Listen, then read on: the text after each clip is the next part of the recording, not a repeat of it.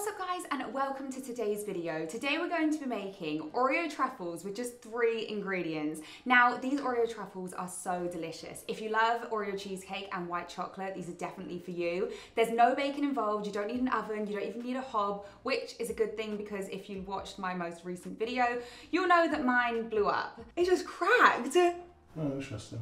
So you can actually turn these into cake pops as well by just adding a stick. Like I said, you only need three ingredients and they are 60 grams of cream cheese. I like to use Philadelphia because it's nice and thick. Nine Oreos and 120 grams of white chocolate. So let's get started. The first step, we're gonna crush up our Oreos. So I'm gonna use a food processor, but you can also use a bag and rolling pin or you can just use a chopping board and a knife if you don't own a food processor. This is definitely the quickest and easiest way to do it though. So I'm gonna crush up the Oreos here and I'll leave a few and I'll show you how to do it with the bag and rolling pin as well.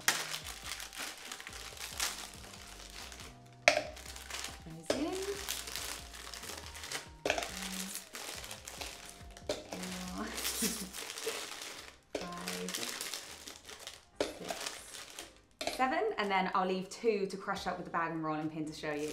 So we're just gonna blitz these until we get a fine crumb. There you go, little extra for good luck. Perfect, now they're finely crushed, I'm gonna grab a bag and rolling pin for the other two. So I'm gonna put two Oreos in there.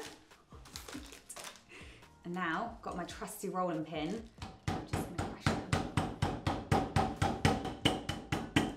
Feel like this is the funner way of doing it. Like if you have any aggression that you need to get out, this is the way.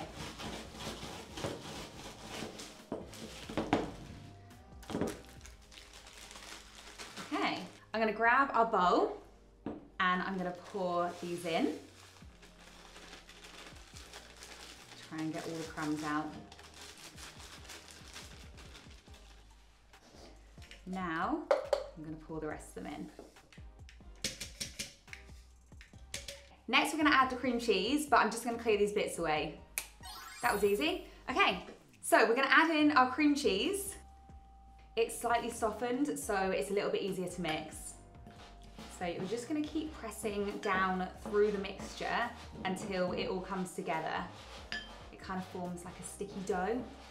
Beautiful, that is looking perfect. So I'm gonna grab a spoon and we're gonna start to roll it into balls. I'm gonna use a mini ice cream scoop. You need to scoop up about half a tablespoon's worth or about 15 grams. You can do it roughly. You should end up with about nine to 10 truffles. If you want to make more or less, you can always half it or double it or triple it or quadruple it to make as many truffles as your heart desires.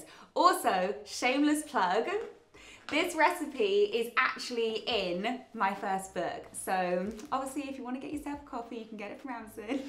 So back to the recipe. This part, you're gonna get your hands messy. We're gonna scoop up. Yeah, that's about half a tablespoon. Pop it into your hand, roll it into a ball. Again, they don't have to be perfect because you can always re-roll these. I swear, see how accurate I was. Take two.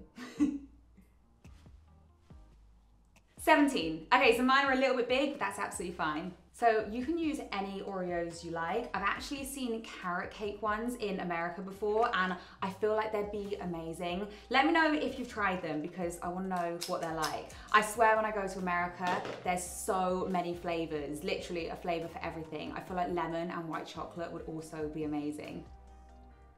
There we go. So I have made nine truffles here. Now we're gonna freeze them for about 30 minutes or until they're firm and they've hardened, and that's gonna make it 10 times easier to dip into the white chocolate. So I'll see you in 30 minutes. Well, not for you. I, I'll be back in like two seconds. Two seconds later. Now we're gonna melt our white chocolate. Now, usually, if we were making legit chocolate truffles, we would actually temper the chocolate, which means it would harden at room temperature. It would be perfect if you wanted to give it as a gift or something like that, because you wouldn't need to store it in the fridge. And it has that nice, like, hard snap to it as well. But because these have cream cheese in, we have to keep them in the fridge anyway, so we don't need to bother with that today. So I'm gonna weigh out 150 grams of the white chocolate. Did I say 120 at the start? If I did, ignore, ignore that person. It's 150. Turn on. Okay. I think this is 150. Yay! what a guess. So I'm gonna break this up into chunks so it's easier to melt rather than just sticking a whole bar in the bowl.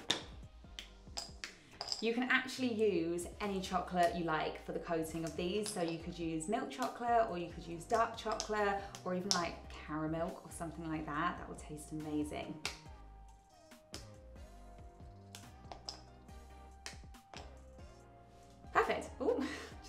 Threw white chocolate across the table.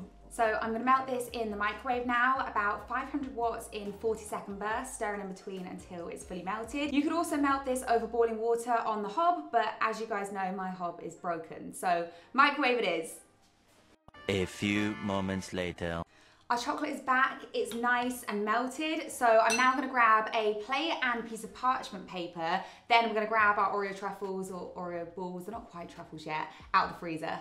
So I'm gonna use two forks to dip them and coat them in the white chocolate and then transfer them to the plate. I also have some extra Oreo crumbs here as that's gonna be our decoration. So I'm gonna dip the ball in the chocolate, coat it, get rid of any excess and then just transfer it onto the plate. We can always trim the excess chocolate and then just top with the Oreo crumbs.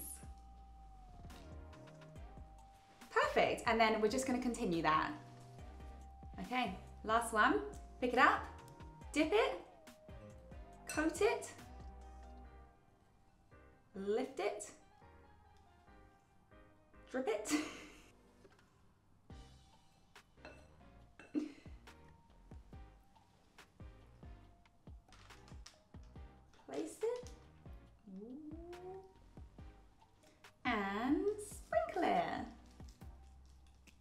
Did you get my reference to bop it there? Pop it. Twist it. But that's it. So they can go in the fridge now. As you can see, some of them have pretty much set already because obviously the ball was frozen, so the chocolate has hardened already. But I'm gonna put them in the fridge and then we'll do a taste test. A few minutes later. Our truffles are out of the fridge, they're fully set, so I'm gonna transfer them onto a plate.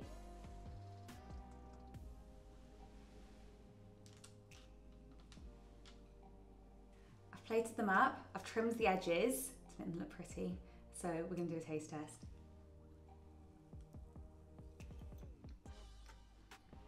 Oh my gosh, they're so good. They're so creamy and sweet in the middle, and that chocolate shell has like the right amount of crunch. Oh, they're just so good. They definitely remind me of an Oreo cheesecake, and they didn't take like any time to make. So guys, that is the end of today's video. I really hope you enjoyed it. If you like fun, easy recipe videos, don't forget to like and subscribe.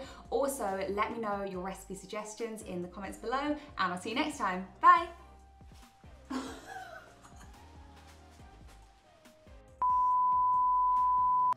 oh! I was just seeing if they would move and they do. okay,